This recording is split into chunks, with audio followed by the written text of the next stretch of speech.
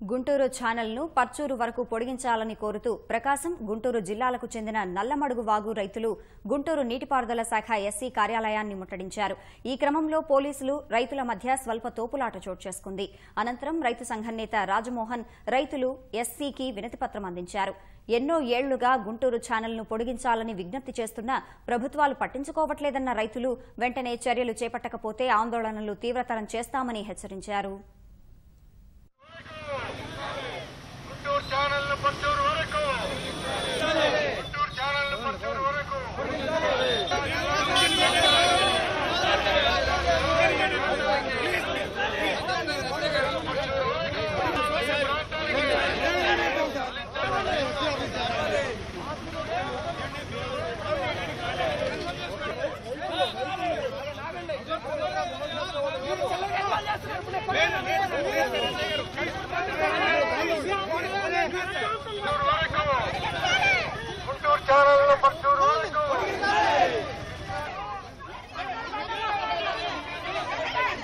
it.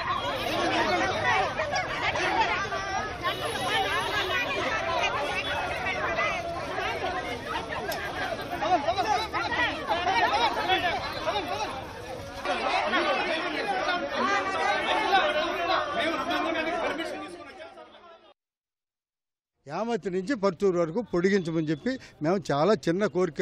Reservoir కట్టమంటలేదు లేకపోతే డ్యాములు కట్టమంటలేదు. ఈ ఈ కొద్ది దూరాన్ని నడపడానికి ప్రభుత్వం చాలా మేనమేషాలు లెక్కిస్తుంది. అది తప్పు. గత నెలలో నాలుగు మండల ఆఫీసుల దగ్గర వందలాది మంది రైతులు ఆందోళన చేశారు.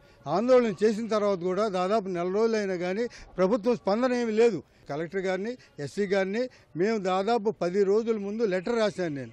లెటర్ రాస్తే వాళ్ళు ఏం చెప్పారంటే మీరు రాండి మాట్లాడదామన్నారు అటువంటి ఇక్కడికి వచ్చిన తర్వాత మరి తాళ్ళేసి లేకపోతే మీరు నే- మమ్మల్ని నెట్టి మీరే నెట్టారని చెప్పి ఇది ఏమీ బాగలేదు.